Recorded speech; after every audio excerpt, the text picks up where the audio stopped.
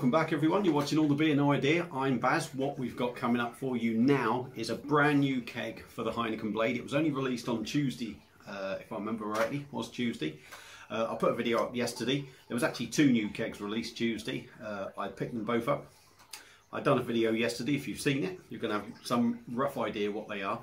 If you haven't seen that, you're going to find out what it is now. So uh, what we've got coming up for the Heineken Blade it's from Brixton Brewery and this is a keg of their low voltage session IPA coming in at 4.3%, 8 litre keg. We'll go over the price and that uh, in a bit, but what I'm going to do now, do a video of the pour, go over there, come back and we'll take the review from there. So back in the tick.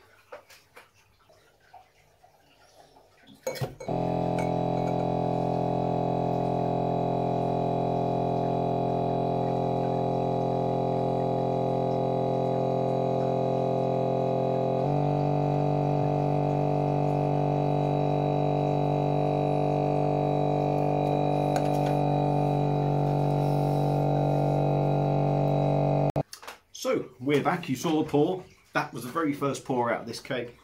So the line was dry, always creates a bit more head as well. But beer in a glass, there we go. A few little bubbles on there, but not too many, I hope. Uh, yeah, beer in a glass. Hazy orange amber colour. Uh, plenty of carbonation going up there, plenty of carbonation. Three, three finger of compact white creamy head if you like. Uh, so yeah, looks good. Uh, now, I've never had anything from Brixton, so this is a first, uh, a first for me. Uh, I picked this up from Beerwulf. Uh, they also released another one. And this keg, these aren't cheap. Uh, they're unpasteurised and that, so I don't think the life on them is as good and they need to be drunk as fresh as possible, really. Uh, the price of this was $49.99. I did get a little bit knocked off it because I had a credit sort of no discount code if you like. So I, I ended up getting it for 44 quid. Is a bit cheaper, still quite expensive I think, but the unpasteurised side of things and being craft is probably going to bump the price up. But uh, but yeah, I thought I'd give it a go, and here we are. So uh, yeah, let's get on with it. So beer in a glass. Ironically enough, I'm not a big session IPA fan, so it should be quite interesting. So as I said, beer in a glass, decent carbonation, hazy orange amber colour, three finger ahead's now gone down to two. Uh, so we'll dive in on the nose and see what we get. Oh, big. Uh, it reminds me of Club Tropicana straight away on the nose. Real big punchy juicy flavours. Nice hoppy aroma. Smells real fresh as well. And on the keg actually, it was kegged on the 17th of June uh, six months date on this, so it's, it, it's best before is the 17th of December this year. So uh, yeah, smells really good. Uh, yeah, hoppy, juicy, tropical, and that's about it really. Say that's about it. It's tropical. You could put 100 flavour, well, 100. You put a lot of flavours in there anyway, can you? So let's shut the fuck up and uh, get on with this. So cheers, everybody.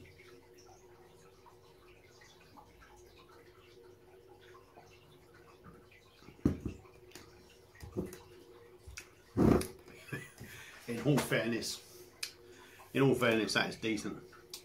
Uh, it's going to be quite a simple review. Exactly on the nose is in the taste.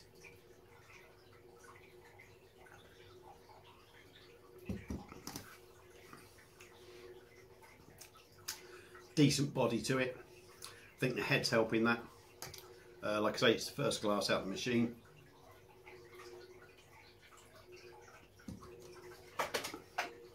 Gentle carbonation, almost non-existent, then just comes to life a little bit on the back end. Mouthfeel is okay, it's not, you know, it's not bad.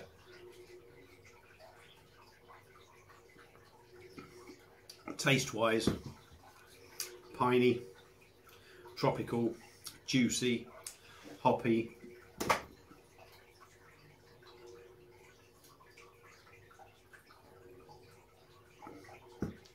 very, very gentle bitterness in there. 4.3%. Uh, you're not really getting that, in all honesty. But then are you going to get 4.3% anyway? Uh, but it does feel like it's got a bit. That, that that little bit of bitterness in there does make it feel like you know that could quite easily be high end of the fours, quite easy.